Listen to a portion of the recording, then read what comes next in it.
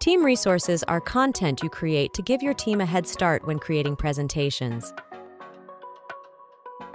Presentation templates are full presentations that team members can start from and customize. When creating a new presentation, your team members will have the option to start from any of the presentation templates you've made available to them. This is a great option if your team has recurring presentation needs with specific structures, like sales proposals or a customer deliverable.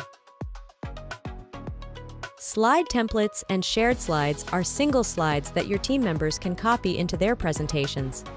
Once added to a presentation, slide templates can be edited, while shared slides are fully locked and uneditable. It's best to use slide templates for recurring editable needs like a weekly status update template. On the other hand, shared slides are meant for slides that need to be reused often, but the content rarely changes, like team members slides or a company overview.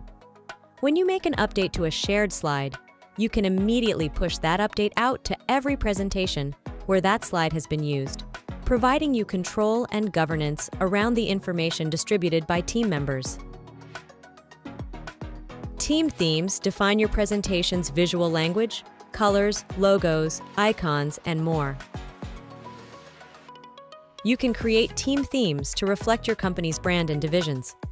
It can also be helpful to create themes to represent customers or recurring events you often create presentations for, like an annual conference, for example. Team members will be able to start from any of the themes you define and they'll be able to swap these themes onto any of their existing presentations. If you make an update to a theme, it will be pushed out to all of the presentations that use the theme, ensuring consistent design and branding.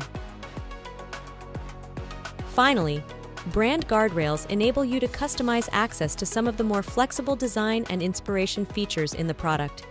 By default, all members have access to all of these features, but you can restrict access to only owners and librarians or remove access for everyone.